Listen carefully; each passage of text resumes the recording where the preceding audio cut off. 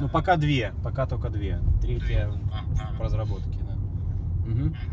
Вот во- вопрос такой. э, Офис, как я понял, у вас не в Майами, а в Нью-Йорке. Да. Вот. То есть как бы основное место базирования не там, где покупаются квартиры. В связи с этим вопрос.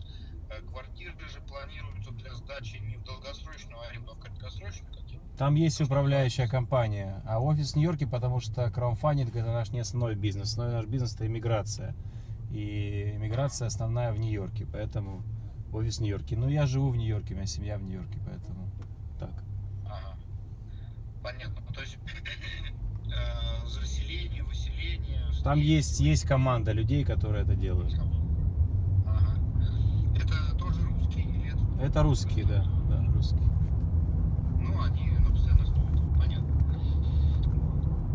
Э, Вот, если можно, какой, как бы, э, цель стратегическая? Я как бы догадываюсь, что 2-3 квартиры это, ну, это какой-то Стратегическое покупать большие объекты, но мы не можем это сдвинуть пока никак. То есть покуп- покупать объекты, стоящие миллион, два миллиона долларов.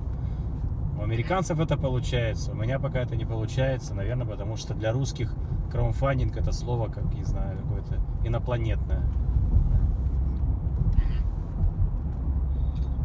А, Понятно. А допустим, если бы, ну, там был инвестор один, там, с миллионом, с полутора, э, Мы бы тоже взялись, но для нас не важно на самом деле.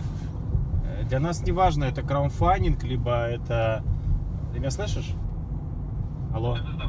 да. Э, для, для нас не важно, краудфандинг это, либо это не краудфандинг, один инвестор э, целиком купил. Для нас важно, что мы управляем его объектом.